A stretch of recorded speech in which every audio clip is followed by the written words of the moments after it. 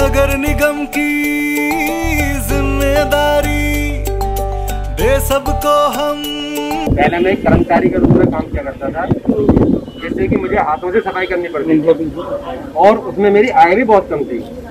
जब से मुझे नगर निगम गाजियाबाद की तरफ़ से ये ट्रैक्टर और सक्शन मशीन मिली है तब से मैं बहुत अच्छा महसूस कर रहा हूँ आत्मनिर्भर भी हूँ। और मेरी आय भी दो गुनी हो गई है। सुविधा सारी शहर बनेगा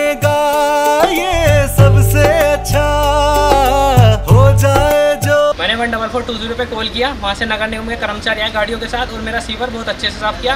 मैं गाजियाबाद नगर निगम का धन्यवाद करता हूँ। जो सबकी भागीदारी है गजब शहरी। मशीन द्वारा तरीके से की जाएगी। ये गजब शहर के लोग बाग गाजियाबाद गाजियाबाद।